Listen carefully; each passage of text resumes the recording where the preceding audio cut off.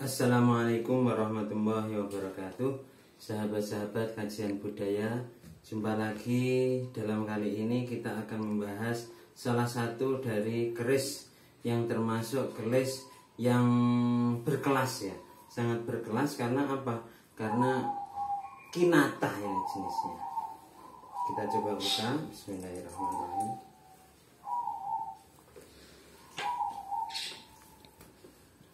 Nah, jadi kita bisa lihat kinatahnya itu di sini. Original sepuh ini Mataraman. Ya, emasnya kinatah asli emas dari sananya dulu ya. Kita coba buka.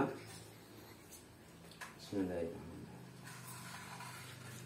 Nah, ini jenisnya adalah jenis dapur tilam. Tilam UP dengan kinatah emas ini ya kinatahnya. Bisa dilihat ini ya kinatahnya. Untuk apa apanya ini namanya? Kinatahnya ini bagian yang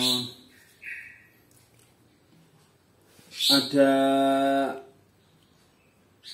bentuk seperti buto. Nah, ini namanya kinatah mangkoro. Bentuknya seperti buto ya, bisa dilihat ini. Kinatah mangkoro.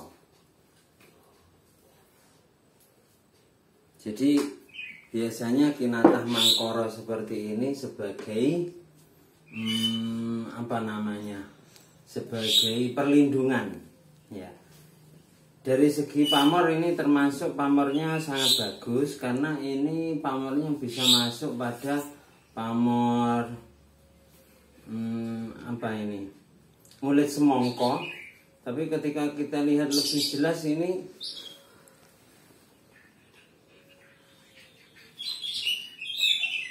termasuk tertata dengan bagus ya pamornya ini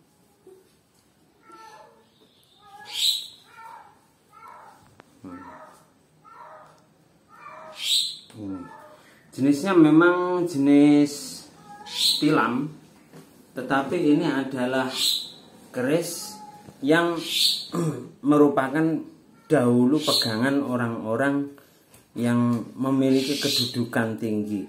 Tidak mungkin keris-keris yang e, memiliki kinatah seperti ini, kinatah asli, kinatah sepuh ini ya.